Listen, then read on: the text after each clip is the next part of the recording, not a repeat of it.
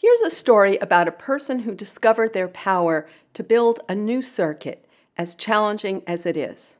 The hero of this story rewired their urge to smoke, but any comfort habit can be rewired in the same way.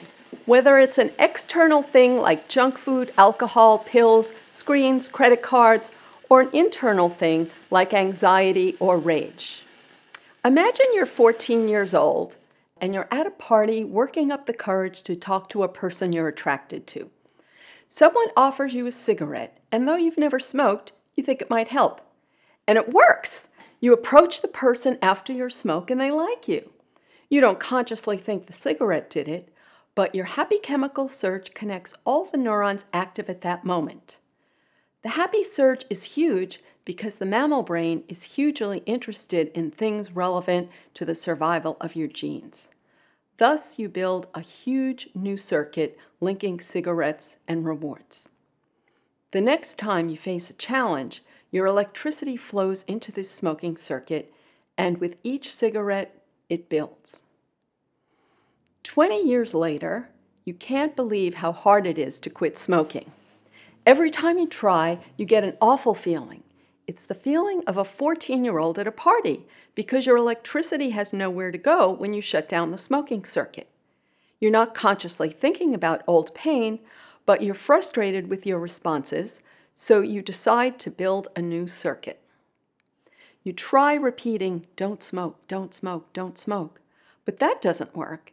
It just activates the smoking pathway instead of building an alternative. So you look for something to do instead in that moment when you have a craving. But you have trouble coming up with something because nothing sounds as good as your old reliable, and many things sound worse. Finally, you decide to eat five cashews every time you feel like smoking. At the end of day one, you are horrified to find that your bag of cashews is empty, but so is your pack of cigarettes. Yikes! You don't even remember deciding to put those things in your mouth. It feels a bit scary, like you don't know who's in charge. You realize you need to expand your power in that moment of choice. So you decide to spin around in a circle before lighting up a cigarette. Every time. And it works! You spin because you want the cigarette and because you like the sense of having at least some control. The spin feels so awkward that the moments get etched in your brain. Now you have a strong awareness of that choice moment, and you know you can master it for a second or two. So you return to the cashew plan. But by day three, you can't look at another cashew, and lung cancer seems eerily possible. You try to relieve your frustration by turning on a comedy show, and that gives you an idea.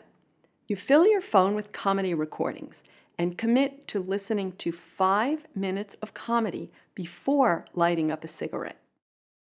The first day, you successfully delay each smoke for five minutes. The second day, you have a breakthrough. You actually forget to smoke after one of the comedy sessions and just go back to what you were doing. So you decide to have one of these breakthroughs every day, and soon you can make it two a day. You are so excited about your new skill that you tell someone important in your life. And you're shocked by their scorn. They ridicule you for listening to comedy in the middle of the day and for continuing to smoke anyway. You never even got to tell them about the spinning part. But you know you've made progress and you are proud of it with or without their support. You know that it's hard to build a new pathway in your brain, especially when a fragile new circuit has to compete with a huge old circuit. So you continue with your system for a few months and finally you quit.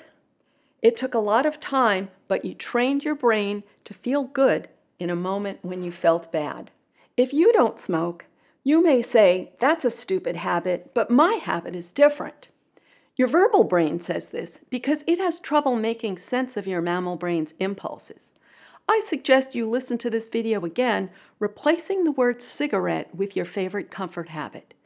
You can transcend that old habit if you stop believing your verbal brain and start managing your mammal brain. The following episode shows you how.